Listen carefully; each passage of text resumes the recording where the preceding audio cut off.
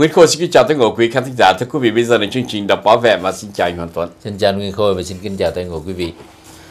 Thưa quý vị, chúng tôi có một uh, có một cái email của một vị uh, khán thính giả nhắc nhở một điều chúng tôi thấy cũng hay là sau năm 1975 uh-huh. uh, người cộng sản thường nó lại có những cái uh, viện bảo tàng để triển lãm tội ác của Mỹ Ngụy. Uh-huh. Mỹ Ngụy nó ác ghê lắm. nó ác cho nên là sau khi mà giải phóng miền Nam xong thì là của cải của của ác mà. Cho nên mình phải lấy của cải để mình đem về miền Bắc. Vì nó ác quá. Nó ác quá nó giữ của cải không cho mình xài. Rồi bây giờ con cái của cán bộ thì cũng kiếm đường đưa qua Mỹ để mình coi thử nó ác tới cỡ nào. Thì mình đã triển lãm tội ác của Mỹ Ngụy. Thế thì đảng và nhà nước mình cũng có những cái tội mình cũng phải cũng phải cho dân ta biết ha. Như ngày 9 tháng 3 năm 1974 có rất nhiều học sinh tiểu học vô tội bị trung đạn pháo kích đạn pháo kích của mặt trận giải phóng miền Nam uh-huh. dưới sự uh, đỡ đầu của cộng sản Bắc Việt. Uh-huh. Ủa thì cái chuyện này mà pháo kích tại sao pháo kích vô vô trường học? À. Thế thì mình cũng phải cho công bình chứ hả? À. Ừ. Tức là anh anh đề nghị là cũng phải có cái gọi là cái phòng triển lãm tội ác. Của... đấy, tội ác của Mỹ Ngụy thì cũng à. có hay là nó là cái, những, những cái tội ác vô tình của đảng và nhà nước thì phải cho người ta biết chứ Thế mình cứ nói mỹ nguyện nó xấu mà bây giờ thì nhà và nó nó nó ác ừ. và văn hóa nó đồi trụy ừ. thế bây giờ mình đài truyền hình của nhà nước à. nhưng mà cái hát nhạc anh anh cũng phải thông cảm với nhà nước à, tại vì lúc này đang rất bận rộn rất là nhiều ừ. lo tổ chức là thi hoa hậu hết đi chân dài chân ngắn này lo thắc mắc là không biết là bài hát này của ngày xưa của ngụy bây giờ có phải sửa lời hay không ừ. cho phép hay không cho phép này rồi uh, phải lo tiếp anh ổn này rồi thế tiếp anh ổn sang rồi tiếp người khác này nhiều chuyện bận phải làm cái chuyện đó từ từ rồi làm. Mà nếu mà nhà nước không làm thì nhân dân người ta sẽ làm. Anh đừng có làm một ngày đó nhân dân nó sẽ làm anh làm yeah. thì nhân dân rồi làm lúc tôi nghĩ nhân dân đề nghị nhân dân lúc đó làm lông làm thịt tụi nó luôn. Cho, cho, đất nước này được nhờ.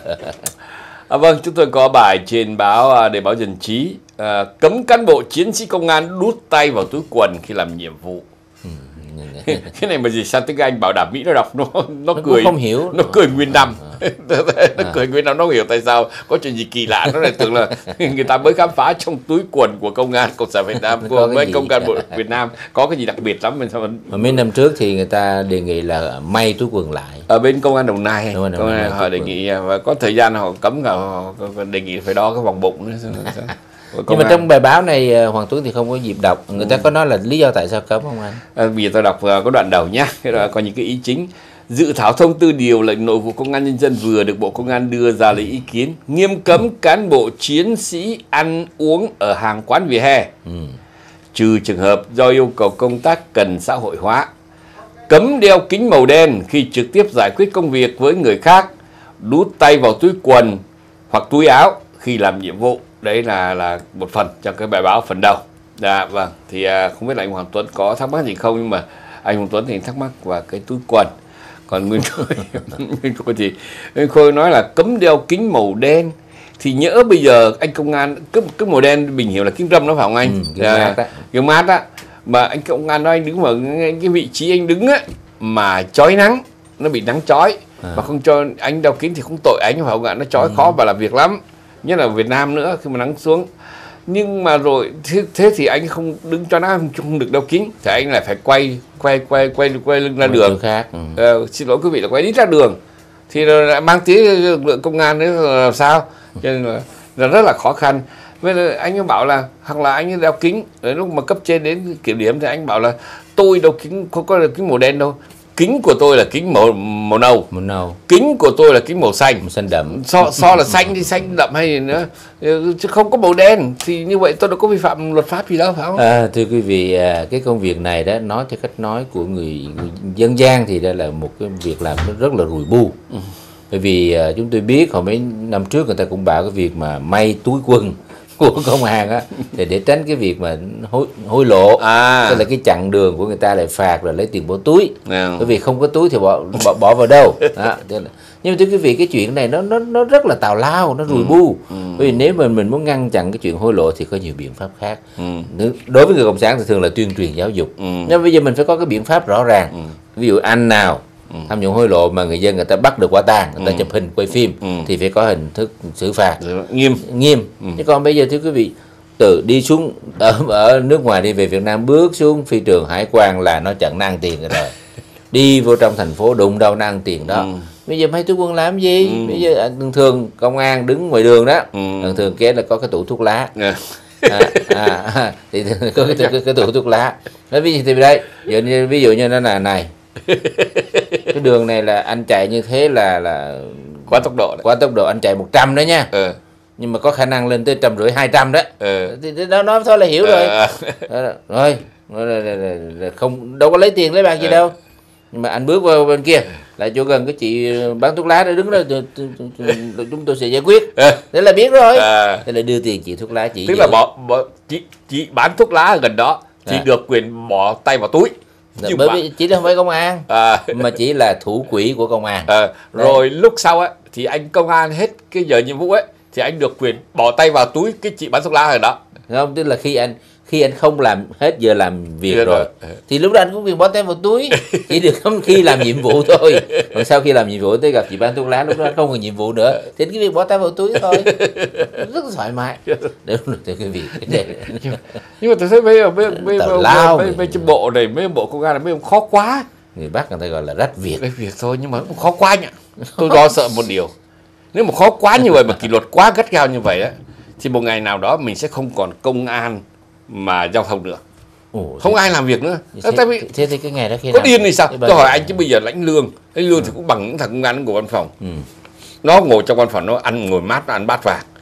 Mình tuốt suốt ngày khổ cực đứng ngoài nắng Ừ. chứ anh cứ biết trời mưa rồi trời gió rồi gặp những cái người mà nhiều khi bực mình mình chặn họ lại rồi họ lại khó chịu họ lại gây gỗ chứ các thứ. Mà mình tại lại- sao phải rước khó vào thân như vậy? Mình đàn ông trai lại bị mang tiếng là dân đứng đường nữa ai mà làm công an giao thông nữa? Thì khó quá. Khó khổ. mà sợ là mai mốt không còn không còn các đồng chí công an giao thông nữa mà rồi. Thì cái đó là cái việc may túi quần. Rồi à, xin lỗi là bỏ tay vào túi quần. Rồi mà bây giờ chúng tôi có một cái ừm, chúng tôi đọc được hai tờ báo lớn ở trong nước là tuổi trẻ và tờ VN Express. Báo là nhiều người xem online đó thì chúng tôi thấy là báo chí Việt Nam bây giờ đã có một cái bước đột phá một sự can đảm kinh khủng. Chuyện là có đăng anh? những bài Chuyện một tàu cá Quảng Ngãi bị tàu Trung Quốc đâm chìm trên biển Hoàng Sa. à, rõ ràng ha. Rõ ràng. vạch mặt chỉ Hồi tên trước đến giờ thì thưa quý vị báo chí Việt Nam vẫn bị nhân dân mắng mỏ chửi rủa là cái đám nó hèn. Ừ. nó cứ nói tàu lạ. À. báo chí thì nó bảo tàu lạ tàu nước ngoài mà dân thì biết tổng đó là tàu của Trung Cộng. Bây giờ báo chí đăng rõ ràng Ừ. là tàu Trung Quốc đâm chìm biển Hoàng Sa. Rõ ràng Ừ. chứ không có không có nói chuyện vòng vo Tam Quốc gì cả. Và có đó là cái- bước đột phá Bước tôi phải đột đồng ý phá với anh về để- để- đó. và có một điều nữa là khi người ta nói về cái chuyện mà tàu bị đâm đó thì cuối bài báo người ta nói như thế này Việt Nam là nước đầu tiên chiếm hữu thực thi chủ quyền liên tục qua nhiều giai đoạn lịch sử Ừ. đối với quần đảo Hoàng Sa Trường Sa. Tuy nhiên từ giữa thế kỷ thứ 20 Trung Quốc nhiều lần đến chiếm Hoàng Sa đến năm 1974 thì chiếm đóng trái phép toàn bộ quần đảo này. Ừ. như quý vị nói như thế là không biết là người ta nói như thế người ta có- cảm thấy xấu hổ không? Bởi vì năm 74 là hải quân của Việt Nam Cộng Hòa ờ, giữ hy sinh và chiến đấu là, là hy sinh ờ, Bảo tính, tính mạng để bảo vệ Hoàng Sa. Và lúc đó đó là, Trung Quốc Trung Cộng với Việt Nam Hòa đánh nhau. Ừ. thế thì ờ, Việt Cộng thì cái im thân thích như thịt nấu đông. Thì, lúc đó Trung Quốc là đang, đang là đàn tranh của mình. Anh anh cãi đàn tranh được không? Nhưng mà cái, cái, cái đã không cãi là cùng thì mà còn người ta cứ nói cái việc ông Phạm Văn Đồng Ờ. là ký cái công hàm là thừa nhận nữa. Ờ. như thế thì bây giờ người ta nói không biết cũng tội cho người dân Quảng Ngãi. Sao vậy tại vì ông chắc là tại ông Phạm Văn Đồng cho nên bây giờ toàn là người dân Quảng Ngãi bị người dân của, của vùng khác cũng bị nhưng như mà Quảng nói Ngãi là bị tại vì ông Phạm Văn Đồng là con dân Quảng Ngãi đó phải thì đấy thì bởi vậy cho nên chúng tôi nghĩ rằng là cái đất Quảng Ngãi cũng là địa linh sinh nhân kiệt nhưng mà địa linh này sinh cái này là không là sinh quái kiệt cho nên là cũng khổ. Cho nên là ờ, người nào Quảng Ngãi mà biết gia đình Phạm Văn Đồng Ừ. biết bây giờ nó là, là đền thờ đồng chí đồng chí Phạm Văn Đồng thì cũng tới đốt cây nhang nói ông ơi ông tôi lại ông. Cũng chứ tại vì ông mà bây giờ dân tôi mới khổ như thế này. Thế anh thấy là báo chí rất là can đảm. Dạ rất là cao đảm. Nhưng mà chúng tôi chúng tôi chúng tôi thấy như thế này. Đó là cái bước đột xuất đầu tiên. Đột phá. Nhưng mà đột phá đầu tiên nhưng mà tôi hỏi anh là chỉ có báo chí lên tiếng thôi. Tại vì tôi cũng đọc cái bài báo VN Express á mà không hề nói tới đảng nhà nước hay là ông chủ tịch hay là ông tổng bí thư hay là ông thủ Ờ, tướng ông lên bí cả. chủ bây giờ một ông rồi. Ờ, thì cái mình cái coi hại hại chứ họ, họ bảo là cái đó là tại vì nghĩa là hoàn cảnh lịch sử nó xảy đến thôi. Ôi chứ còn vẫn là trên nguyên tắc là vẫn là hai ông khác nhau ông tổng bí thư Dạ, là bên đảng thì một ông tịch thôi, dạ. chủ tịch. Tôi tôi cái câu tôi trong cái, cái, cái ngày đó thế này. Đám tang một đám đỡ tôi kém với nhân dân. Nhưng mà nhưng mà sao, sao mấy ông kia không lên tiếng? Tại sao à, lên, tại vì anh đòi hỏi nhiều quá. Bộ ngoại giao nó sao không lên tiếng? Hải quân nó sao không lên tiếng? Cảnh sát biển nó sao không lên tiếng? Không cảnh, cảnh sát với hải quân thì người ta không lên tiếng mà ta lên bờ. Cho nó chắc ăn nhưng mà cái này chúng tôi gọi là bước đột phá của ngành báo chí. Ờ, tức là đảng và nhà nước ta thì luôn luôn, dùng cái chữ là từng bước. À, từng bước.